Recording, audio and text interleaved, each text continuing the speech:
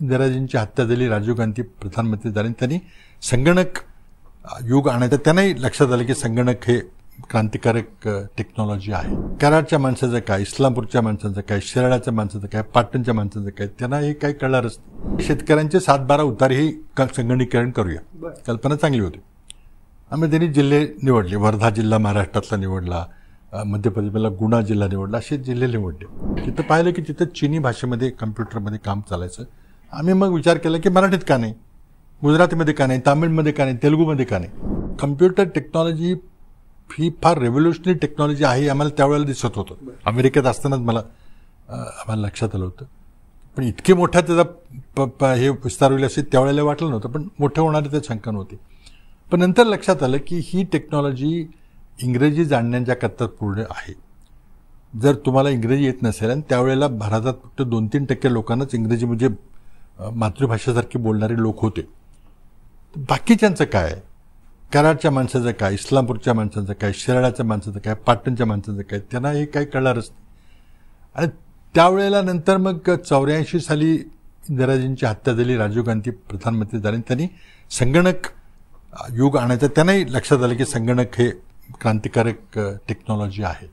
मग त्यांनी दोन निर्णय घेतले की आपण काही ठराविक जिल्ह्यामध्ये सगळे शेतकऱ्यांचे सात बारा उतार ही क- संगणकीकरण करूया. कल्पना चांगली होती.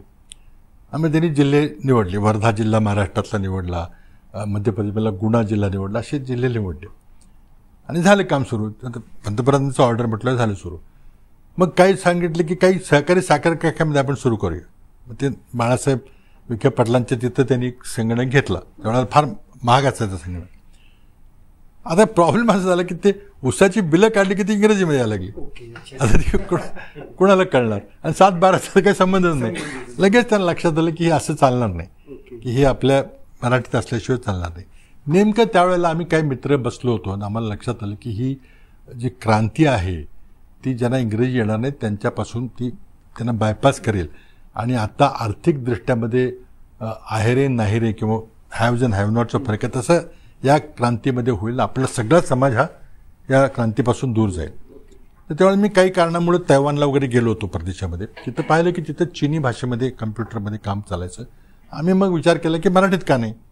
गुजरातीमध्ये का नाही? तामिळमध्ये का नाही? तेलुगूमध्ये का नाही? आणि मला थोडंसं हे फार फील झालं की आपण नाही केलं तर मग थोडं आपण आपण काही फार त्यामध्ये हे करू. आणि म्हणून आम्ही काही जणांनी मग ओरिजिनल रिसर्च या प्रकरणामध्ये केलं त्यावेळेला कोणाला नव्हतं. आणि हे काही फार ग्लॅमरस किंवा फार फायदेशीर पैसेवालं काही काम नव्हतं. काही जणांनी आम्ही केलं. आणि मला एक आनंद वाटतो की मला त्यामध्ये खारीचा वाटा उचलायची संधी मिळाली. मी खूप चांगलं काम केलं.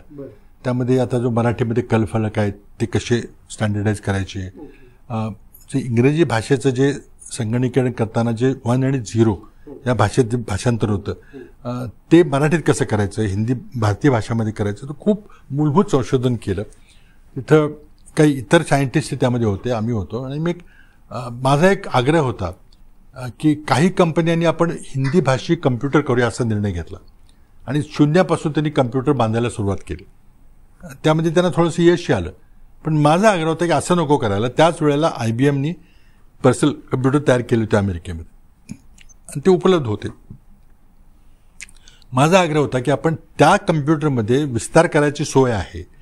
तर आपण अशा प्रकारची एक व्यवस्था करू की त्याच कम्प्युटरमध्ये आपण काही जर बदल केले तर त्याला मराठीमध्ये वापरता येईल. आणि त्या दिशेने आम्ही गेलो. काही लोकांची आय आय टी कानपूरमध्ये खूप एका मित्राचं खूप चांगलं काम होतं. त्याला आम्ही एकत्र घेऊन आम्ही दिल्लीमध्ये आमच्या जे आउटफिट होतं तिथं आम्ही काम केलं आणि आम्हाला यश आलं.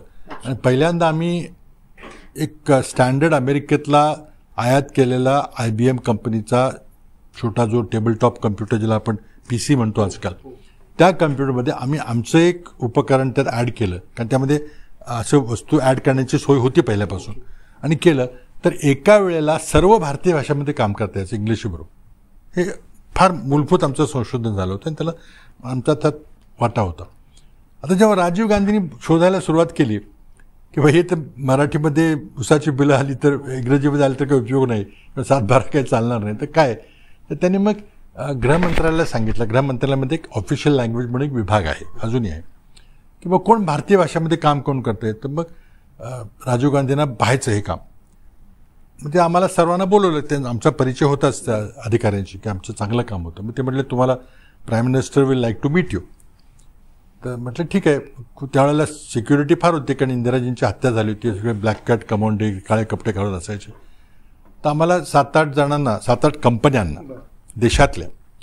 तिथं त्यांनी बोलवलं विज्ञान भवन आणि प्रदर्शनाचं अशाच खोलीत उभं केलं सगळ्यांना. तुम्ही काय काय करता दाखवलं. राजीव गांधी स्वतः आले त्यांनी खूप वेळ दिला. आणि प्रत्येकाचं काय काम आहे कशा प्रकारे आपल्याला जे उद्दिष्ट गाठायचं होऊ शकले ते स्वतः पाहिलं.